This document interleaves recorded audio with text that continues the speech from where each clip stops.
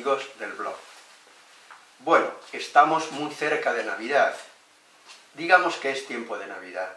Y quería felicitar estas Navidades a todos los que siguen el blog, sean del lugar que sean, sean españoles o sean de los, países, de los países hermanos de América Latina o de América del Sur, como prefieran ustedes. Eh, yo les deseo a todos que tengan esta Navidad unos días agradables, unos días felices. Para aquellos que sean eh, no creyentes, pues que puedan aprovechar estos días de fiesta para compartirlo con su familia, con sus amigos, con sus hijos, etc., y pasarlo bien, agradablemente. Y para aquellos que sean creyentes, que puedan también compartirlo, evidentemente, con su familia y amigos, y también que puedan realmente tener ese contacto especial con el verbo que se hizo carne, el verbo que se hizo carne, como dice el Evangelio de Juan, que dice, y el verbo o la palabra se hizo carne y habitó entre nosotros. Y luego añade, y hemos visto su gloria, gloria de Hijo único del Padre, lleno de amor y lealtad. La verdad es que el prólogo del Evangelio de Juan me encanta. Cuando dice, cuando dice al principio, dice, y la palabra contenía la vida, y la vida es la luz de los hombres, y la luz brilla en las tinieblas. Bien, entonces desearles a todos, como digo, feliz Navidad. Bien, hoy quería hablar de un tema que es muy navideño, de los sueños, de los sueños e ilusiones. No me refiero a los sueños nocturnos, me refiero a los sueños y a las ilusiones que todos los seres humanos tenemos. En primer lugar, ustedes saben que hay sueños e ilusiones que desbordan la realidad, que van más allá de las posibilidades que tenemos de satisfacerlos en la realidad. Pero no por eso dejan de ser importantes, son muy importantes. Mire, yo creo que los sueños, los mitos, las ilusiones, las utopías, todo podíamos encajarlo dentro de un mismo paradigma, dentro de un mismo modelo. Y yo creo que eh, cada uno de ellos, cada uno de estos, digamos, modelos, cada uno de estos, mm, digamos, mm, modelos particulares, podían todos, podíamos todos incluirlos dentro de un gran paradigma. Y es el paradigma a partir del cual el ser humano expresa algo muy profundo de él mismo. Algo que evidentemente muchas veces, muchas veces, cotidianamente, eh, desborda la realidad desborda la realidad del mundo, es decir, nos lleva más allá de la realidad del mundo, de aquello que el mundo puede darnos, puede ofrecernos, puede satisfacer, por lo menos tal como es el mundo, porque vivimos en una realidad muy ambivalente, donde lo malo y lo bueno está junto, está imbricado, está interrelacionado, forma una urdimbre donde no se puede separar una cosa y la otra. Bien, pues entonces, como digo en primer lugar, hay sueños, hay ilusiones que van mucho más allá de la realidad. Mire, un ejemplo tenemos aquí en España, ahora un ejemplo clásico, la lotería de Navidad. El día 22, muy pronto, va a ser este gran sorteo. Un sorteo que, si no recuerdo mal, es uno de los más importantes del mundo. Bien, ¿cuánta gente que ha comprado su participación sueña con que le caiga un poquito de dinero Estamos en una situación complicada económicamente aquí en España y también en otros países de Europa, como también en otros momentos han estado otros países, por ejemplo, de América del Sur, de América Latina. Pero eh, la gente que ha, que ha comprado su participación tiene sueños. Sueños, por ejemplo, la gente que está en paro, la gente que tiene una hipoteca y no puede pagarla, la gente que quiere montar un negocio y no puede porque en el banco no le dan el dinero que necesita, familias que están en una situación muy complicada, gente, por ejemplo, que ha querido hacer, por ejemplo, este señor que, que, tiene un proyecto científico, el otro que está escribiendo un libro y quiere publicarlo, el otro que quiere montar un pequeño negocio, eh, el otro que tiene la ilusión de hacer ese viaje que nunca ha podido hacer y que siempre ha soñado con hacer. cuántas y cuántas ilusiones que desbordan la realidad, que desbordan las posibilidades que la realidad nos ofrece. Pero pongo este ejemplo, pero habría infinitos ejemplos, infinitos ejemplos. Pero entonces, ¿por qué? ¿Por qué? ¿Por qué todo esto? Pues porque dentro de nuestra realidad, en lo profundo de la realidad, hay algo que la desborda, que va más allá. ¿Cuántos sueños de ternura, cuántos sueños de amor, cuántos sueños de felicidad, cuántos sueños de transformar la realidad, cuántos sueños, también hay sueños negativos, también hay sueños muy malos. Por eso, porque en los seres humanos existe esa ambivalencia profunda, esa lucha entre nosotros, entre el bien y el mal, esa lucha entre el amor y el odio, esa lucha entre eros y tánatos, como decimos en psicoanálisis.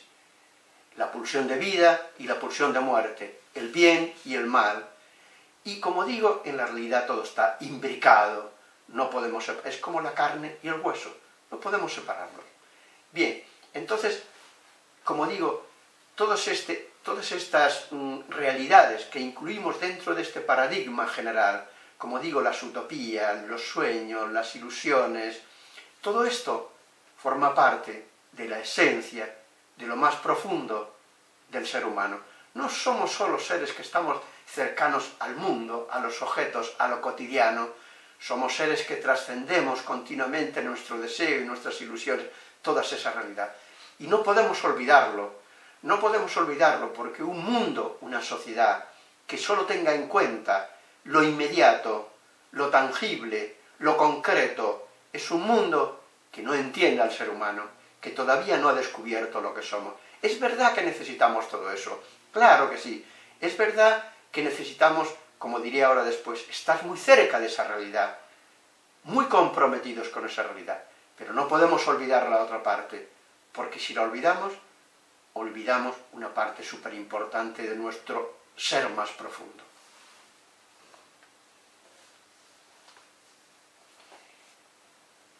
El ser humano tiene también una profunda necesidad de trascender la realidad. Y la estamos trascendiendo continuamente.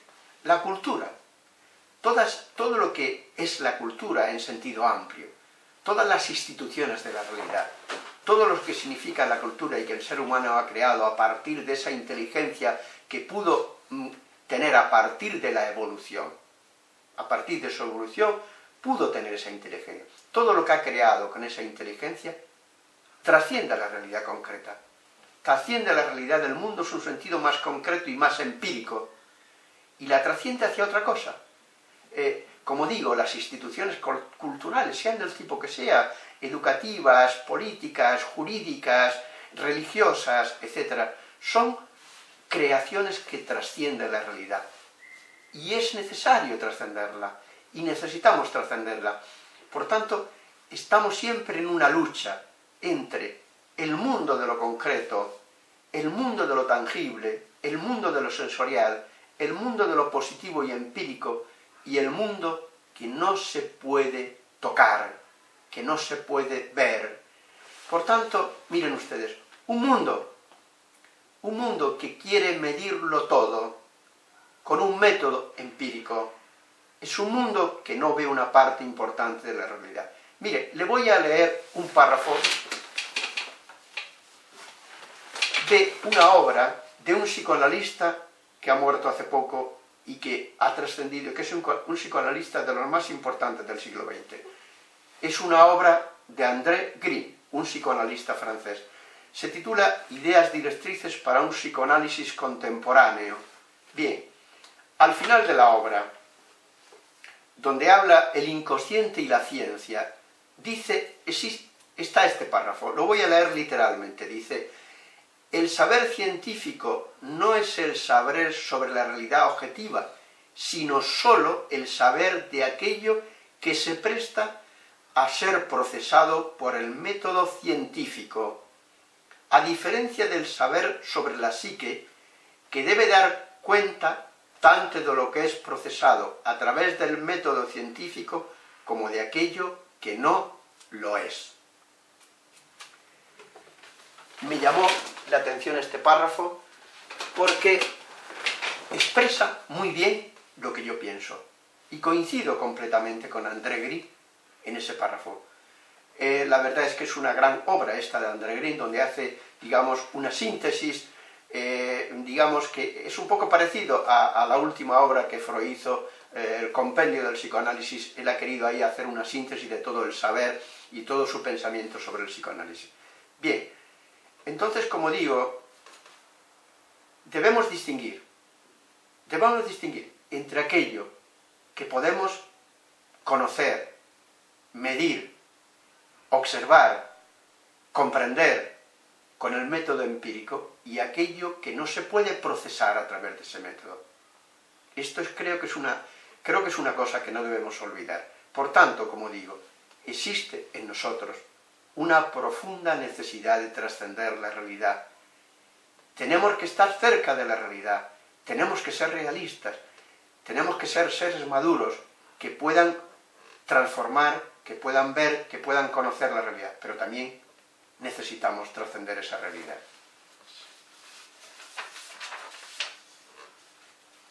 Quisiera hablar ahora un poco de los sueños, de las ilusiones y de la espiritualidad y religión. Miren, siempre he pensado, y es una idea que tengo muchos trabajos escritos sobre esto, muchos de ellos no he publicado en ninguna parte, han sido reflexiones que yo he hecho y que después las he escrito. Quizá algunas de ellas las vaya poniendo en el blog. Hay uno de ellos, uno de esos trabajos muy extenso, que tiene casi 150 páginas, pero no lo he publicado en ninguna parte, está ahí. Bien, lo que quiero decir es que eh, yo creo que uno de los pilares fundamentales de toda espiritualidad, de cualquier espiritualidad y cualquier religión, es una realidad antropológica, una realidad profundamente antropológica. ¿Y qué es eso? Es, como he dicho antes, que hay en nosotros una necesidad de trascender. Pero claro, hay dos, podemos tener dos conceptos de, la palabra trascender. Uno, uno, digamos, profundamente anclado en el mundo, profundamente anclado en este cosmos, en la realidad del universo, en la realidad de este mundo, en la realidad de este planeta, ¿eh? y por tanto que no traspasa esa frontera, que se queda ahí. Y es un concepto muy válido, muy necesario. Toda antropología, cualquier antropología, cualquier filosofía, está anclada en eso, aunque hay ciertas filosofías o ciertas antropologías que han dado también un salto, no un salto en el vacío, pero sí un salto hacia, por ejemplo, planteamientos de tipo, eh, de tipo espiritual y de tipo religioso. Pero entonces, ¿qué quiero decir? Quiero decir que el ser humano, en su necesidad, en su profunda necesidad de felicidad, de amor, de justicia, de fraternidad, de solidaridad, de autenticidad, llega a una determinada frontera. Y al llegar a esa determinada frontera, uno puede sentir la profunda necesidad de un otro, un otro con mayúscula, un objeto con mayúscula, un profundo con mayúscula, ¿Y por qué? Pues porque nuestra ansia de todo lo que he dicho. Necesita, necesita la existencia de ese otro, la existencia de esa realidad, otro, realidad, profundo, todo con mayúscula, donde nuestro corazón, donde nuestros anhelos, puedan satisfacerse totalmente, puedan descansar totalmente, pues porque nuestro corazón, nuestra realidad más profunda, ni se calma, ni se colma en la relación con este mundo. No se puede calmar ni colmar, trasciende este mundo. Y al llegar ahí, evidentemente, uno puede rechazar esa, ese planteamiento, porque claro, ese planteamiento no está exento de una reflexión racional. no es un planteamiento que no pueda tener detrás de él una verdadera antropología. Claro que puede tener una verdadera antropología, pero trasciende esa antropología, va más allá de esa antropología. Mire, quiero leerle también un párrafo de otro libro que he preparado.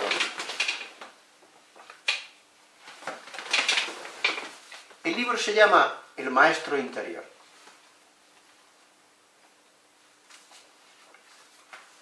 Dice así, es un poco largo. Dice, los psicoterapeutas, por ejemplo, podrían guiar al menos en una parte del camino, si se hubieran, si se, se interesan, a ver, perdonen, porque me pasa una, dice, los, los psicoterapeutas, por ejemplo, podrían guiar al menos en una parte del camino, si se interesaran por esta temática y si conscientes de sus actitudes asumieran valientemente sus responsabilidades. En una palabra, si franquearan el paso que hay entre psicoterapeuta y gurú y maestro, necesitarían naturalmente una preparación diferente a la formación que se imparte en la actualidad para aquellas profesiones por las que se hacen responsables del prójimo. ¿Qué educadores, médicos, sacerdotes, psicólogos, durante su formación han tomado conciencia del hombre interior, de la responsabilidad que asumen en cuanto a su madurez y a la posibilidad de una verdadera realización mediante el contacto con su ser esencial y la trascendencia que le habita. La terapia actual no conoce todavía sino el arte pragmático de curar, tratando el sufrimiento en relación con el mundo, es decir, por la, incapacidad de hacer frente a las exigencias de la existencia. Pero ¿quién sabe dar remedio al otro sufrimiento? Aquel que queda la ineptitud para responder a la exigencia del ser esencial, de ese ser profundo del que he hablado antes. Este sufrimiento es un mal específico de nuestro tiempo. Bien, lo dejo ahí. Y ahora quiero todavía leerle otro párrafo. Este párrafo que voy a leer ahora es de una psicoanalista francesa, François Dolto. Esta obra se llama El Evangelio ante el psicoanálisis. Y dice así, dice, lo que, lo que leo en los Evangelios me parece la confirmación, la ilustración de esta dinámica viva que actúa en el psiquismo humano y su fuerza derivada del inconsciente, allí donde el deseo tiene su fuente, de donde parte en busca de lo que falta. Bien, yo creo, como digo, que partiendo de esa profundidad del ser humano, partiendo de esa deseo profundo, de la dinámica del deseo. Como dice François Dolto, nuestro deseo parte siempre en busca de lo que falta, en busca de lo que nos falta. ¿Y qué nos falta? Evidentemente nos falta aquello que este mundo no nos puede ofrecer. Es verdad que si este mundo fuera mucho mejor, si la ambivalencia que existe entre nosotros fuera menor, si el mal que existe entre nosotros individual y social e histórico fuera menor. Es verdad que nuestros deseos se podrían colmar más. Claro que sí, por supuesto que sí. Pero el mundo que tenemos es, en parte, en una parte importante, una creación nuestra. La naturaleza está ahí, pero nosotros somos los que hemos transformado esa naturaleza de una forma brutal y muchas veces no para bien. Entonces, lo que quiero decirles es que nuestro espíritu no solamente necesita estar en contacto con el mundo, sino que trasciende ese mundo. Y en esa trascendencia llega un punto en el que se plantea, no habrá otra realidad que satisfaga esto que me falta, que satisfaga esta necesidad tan profunda de realización, de felicidad, de amor, de solidaridad, de justicia, de paz, de fidelidad, de lealtad. Y ahí es donde uno empieza a plantearse si puede existir un otro, si puede existir esa otra realidad, si puede existir ese misterio. Y repito, misterio que llamamos Dios.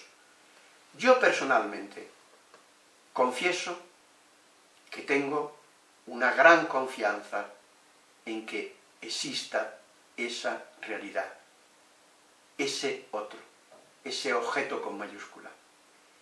Y creo que no debemos dar de lado fácilmente a este planteamiento.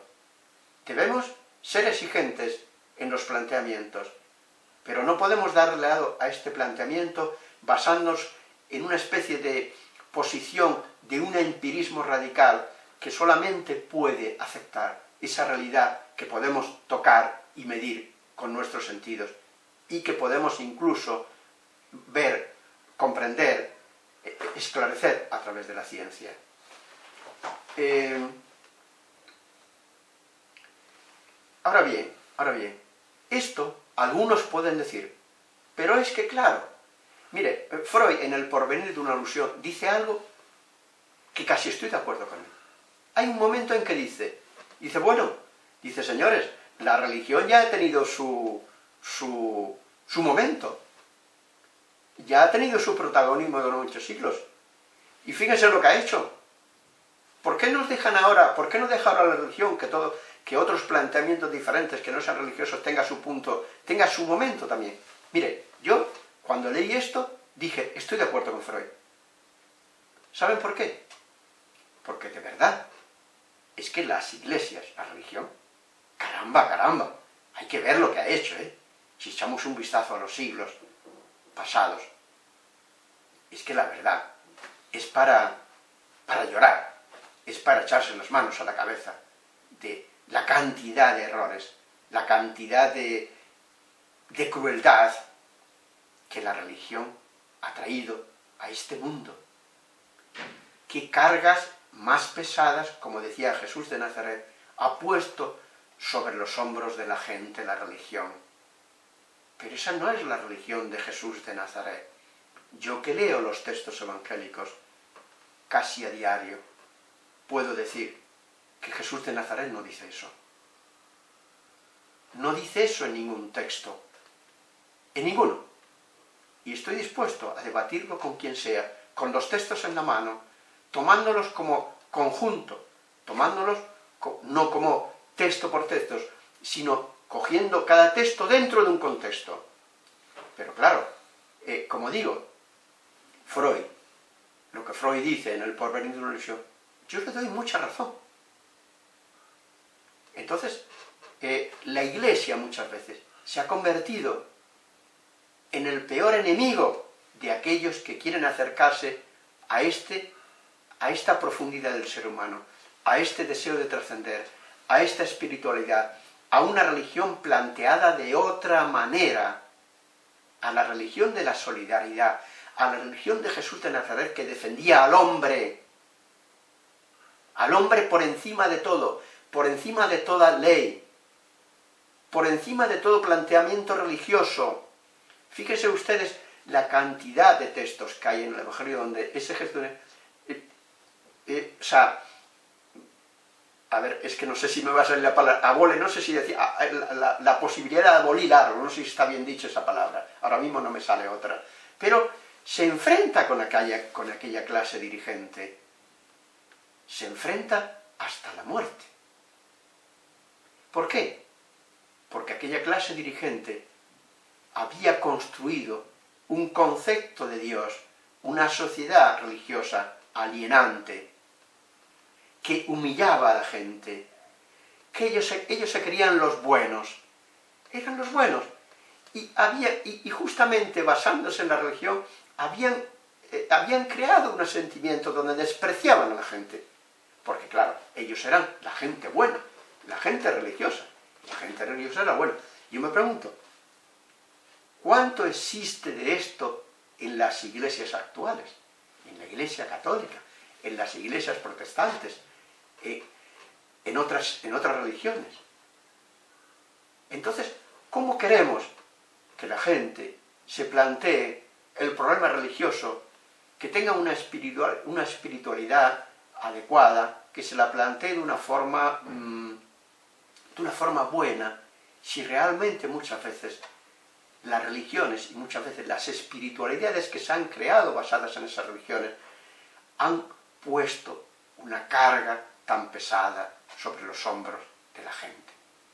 No voy a entrar en casos concretos, pero piensen ustedes, estoy hablando, por ejemplo, eh, yo vivo aquí en España, en Valencia, que está, como digo, por si alguno de, la, de, los países de América del Sur no lo sabe, yo vivo en Valencia, que está en, el, en la costa mediterránea, eh, y, y, la jerarquía a veces española, eh, como habla a veces de, de, de, los homosexuales, por ejemplo, o de otros temas, que yo creo que si Jesús de Nazaret hubiera tenido a esa gente delante, los habría tratado de otra forma diferente. Recuerden ustedes aquel texto donde Jesús de Nazaret, aquella, está en casa de un fariseo, lo habían invitado a comer, de Simón, y entonces entra una pecadora, una pública pecadora, y aquel Simón empieza a pensar para adentro, jo, esta, esta mujer que ha entrado, si éste supiera, refiriéndose a Jesús, quién es esta, algo así como diciendo, la tiraría a caja destemplada de aquí.